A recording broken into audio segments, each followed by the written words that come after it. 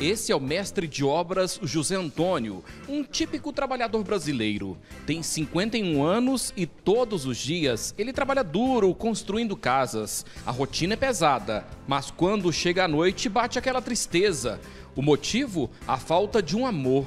E o Tonhão, como é conhecido, não quer mais uma aventura, um romance passageiro. O senhor quer uma pessoa séria, uma pessoa compromissada, o senhor não quer pra farra, não.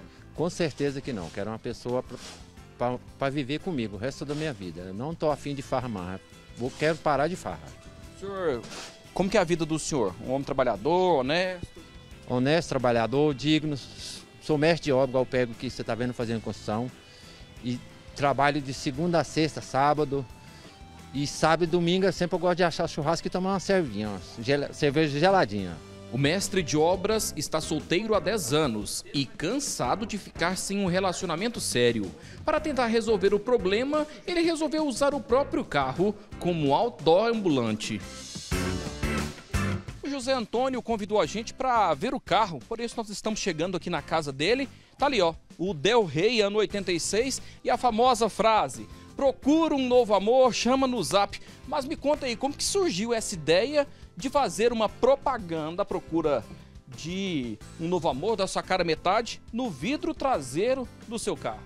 Foi meus amigos de trabalho, a gente estava junto e a gente inventaram, vamos pôr, é, fazer uma frase no seu carro? Falei, vamos. E a gente começaram a fazer a frase e eu achei interessante também, falei para ele, vamos deixar escrito. Vamos ver que pôr na mídia. Inclusive não é tinta guache não, gente, ó. Tinta de verdade não sai não. Ou seja, tá procurando sua cara metade mesmo. Com certeza, eu quero minha cara metade que vai dar tudo certo. A história viralizou e ele garante que já apareceram candidatas de vários lugares. Qual que é o perfil da mulher ideal que vai ocupar esse coração aí? É, seja morena, loira, de todas as cores. Para mim seria seja bem-vinda, que seja uma pessoa que tenha honestidade e caráter. Pode ser morena, ruiva, loira, mais gordinha, mais magrinha, altinha, baixinha? Com certeza. Eu não tenho escolha. Importante que seja uma pessoa boa, bacana. Tem muito amor? Demais. De sobra para ela.